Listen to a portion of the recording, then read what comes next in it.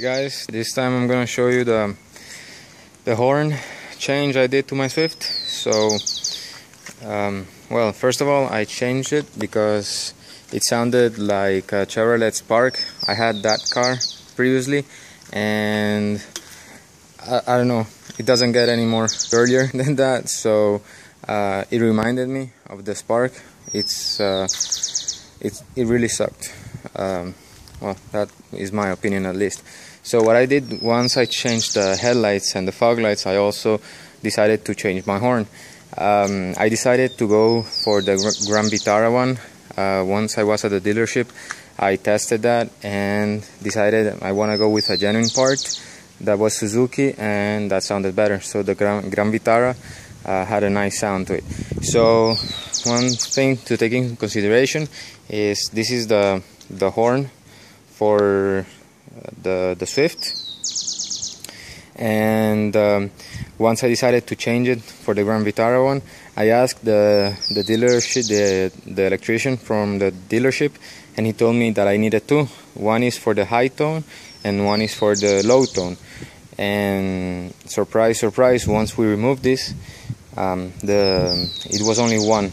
The Swift only uses at least this model the third generation only uses one model and it's located like right here. I don't know if you can see it. Uh, well it's there.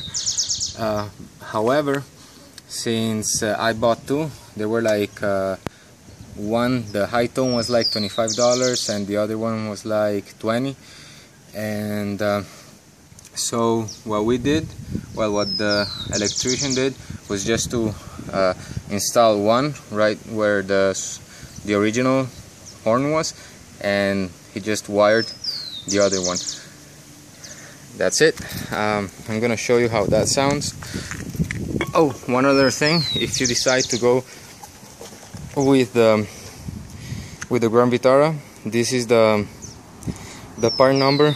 I don't know if this is for the low tone or high tone just in case you decide to go with that one. This is just one of the two part numbers that you can search maybe on eBay and maybe you can get it cheaper.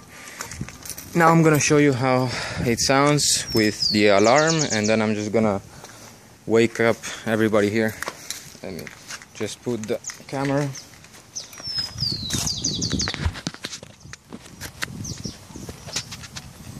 okay it's not gonna stand anywhere.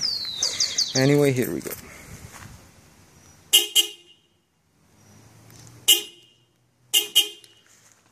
Okay. I don't know if the sound you can like hear it really well through the camera microphone and this is how it sounds